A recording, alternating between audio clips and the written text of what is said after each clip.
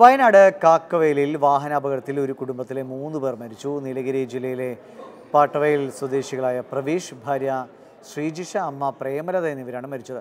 പ്രവീഷിന്റെ നാല് വയസ്സുള്ള മകൻ ആരവിനെ ഗുരുതര പരിക്കുകളോടെ കോഴിക്കോട് സ്വകാര്യ ആശുപത്രിയിൽ പ്രവേശിപ്പിച്ചു. ഇന്ന് ഉച്ചയ്ക്ക് പന്ത്രണ്ട് മണിയോടെയാണ് അപകടമുണ്ടായത്. ഇവർ സഞ്ചരിച്ച കാറും ടാങ്കർ ലോറിയും തമ്മിൽ കൂട്ടിയിടിക്കുകയായിരുന്നു. അപകടത്തിൽ കാർ പൂർണമായും തകർന്നു. കാർ ഓടിച്ച പ്രവീഷ് തൽക്ഷണം മരിച്ചു. ശ്രീജിഷയും പ്രേമലതയും ആശുപത്രിയിൽ എത്തിച്ച ശേഷമാണ് മരിച്ചത്.